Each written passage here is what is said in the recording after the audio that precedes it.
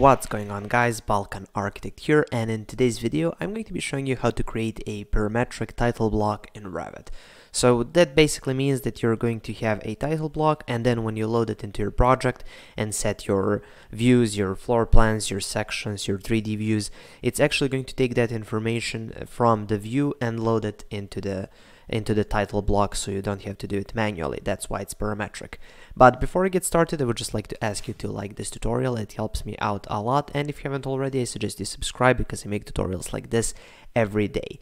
And if you want to download this uh, Balkan Architect uh, title block, uh, A3 uh, metric, uh, you can go to my Patreon, first link in the description, and you can actually get this project file. Okay, so let's get started. As you can see over here, I've got already a title block and I'm just going to show you some of the tools that I used uh, to create this title block. So you start off from a template. So you just go over here to File, uh, New, and then you go to Family. And let's cancel out of this. And then here in families, uh, you just go for title blocks. And here for the metric, you've got the metric ones. Now you can either go to one of these or you can go to new size and this is actually going to allow you to create your own uh, sheet size if that's what you prefer. I just used the A3 metric for this one. So I'm just going to cancel out of that. So you basically get this outline. So you just get this and then you need to start uh, basically drawing. It's not modeling, it's 2D, so it's drawing. So you go here to the create tab and you've got uh, these tools. So you can use the line tool. That's what I used to create most of this thing as you can see. So just go simple lines and use all of the simple tools like fillet, trim and extend, stuff like that. So it's just basic tools to get uh, to this uh, this drawing. Then to add text, like over here, when we look at these parameters. So for example, the project name. So when you load this uh, title block into the project, it's going to take that project name and automatically place it here on this label. So how do you create a custom label for this? So that's the parametric part. So let's create an additional one over here. So let's just copy this line and let's say I want to have something over here. Okay, to create that label, you go over here to, to, the Create tab and you have this label option. Now you click on the label option and you just click anywhere. Now you can try to click where you want to have it, but you're usually going to have to uh, change the position once it's created. So I just click anywhere and you get this edit label dialog. So here you see all of the available labels that you can use for this project. So just search for what you want to use. So maybe you want to, let's say, let's find something maybe organization name. That's something you want to have. So you just load it over here, organization name, and you hit apply, okay, and here it is. Now you select it and you place it over here. Now as you can see here, it's aligned to the left. So when it changes the, the name, it's actually going to go to the right. So I prefer to have it aligned to the right. So just select that and go over here into the properties panel and go our alignment right and now as you can see it's over here now you can just play around place it there. So whenever this changes it's, it's going to appear in this uh, in this section over here. Now you can always change the size of the label. So just go here into edit type. And then here we've got a few sizes uh, size options. Or you can go duplicate and then create a new size. Here you can choose the the font of the text. So you can maybe change it from Arial to something better like Century Gothic that's what I love to use. You can make it bold, you can change the size, you can change the color of the text. So all of those options uh, you can change. So as you can see here, we've got this label. Now, once you place the label, this, this only says organization name right now.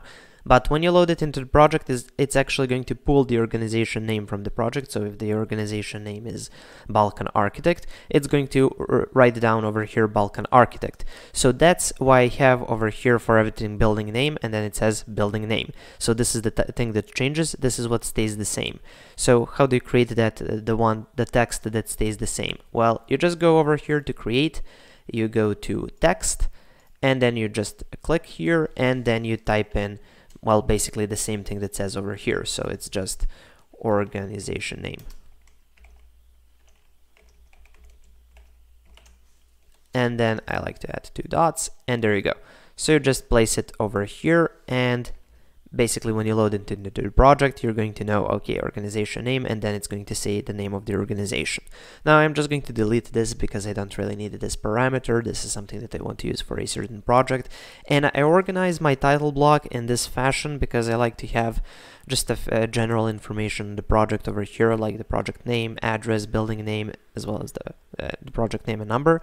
And then i like to leave a bit of room for some maybe tables or uh, maybe uh, legends, stuff like that. Then underneath we've got author, drawn by, checked by, and then here I can add a key plan or something like that if I want. So I've got a bit of extra room over here. And then here we've got the, the sheet uh, information, so the scale, the sheet name, and the sheet number.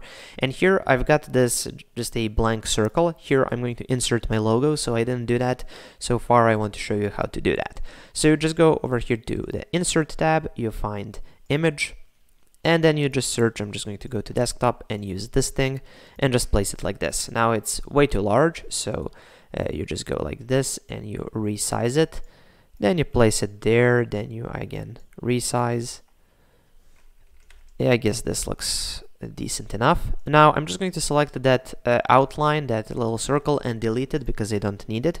And there we go. So I've got my I've got my logo I've got all of the project information and now let's load it into the project and see how it works. So here I've got this project, this is the floor plan and I want to use this template for that floor plan. So let me just go load into project and here now it's loaded.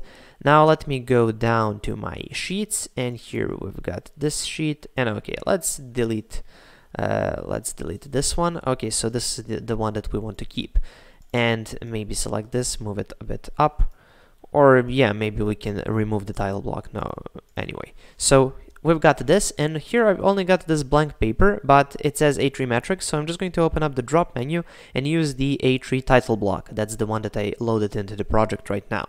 And as you can see it automatically changed. Now if we look at the project number it says 001 for the project name it stayed project name. For the building name it's blank so we've got some issues over here. Same thing with the author. The only thing that works is the scale, uh, the sheet name, it's unnamed, and the sheet number. So uh, the scale and the sheet number are working fine. It's just taking information from this here uh, floor plan, but we've got additional problems. So first for the sheet name, how do you add the name here? Well, you can't edit this. You have to go over here to sheets, right click on the sheet, rename, and here the sheet number can stay the same, but for the name, let's just call this floor plan. And as you can see it immediately, when you change it over here, it changes over here as well. Now, how about the rest of this information? Well, for any of your projects, you've got your uh, Manage tab, and on the Manage tab, you've got project information. This you should probably fill out when you start working on a project. So we've got our organization name, organization description. We don't really have these parameters, but for the building name, let's add some name. So let's call it best building ever. Okay, for the author, let's add Mr. Balkan because that's how you guys call me. And then for the issue date, yeah, let's leave this blank. Project status, client name, owner, let's call it YouTube because this is for YouTube. And for the project address, let's say here. Oh, you have to click here and then type in the project. Or no, let's... Yeah, let's do that.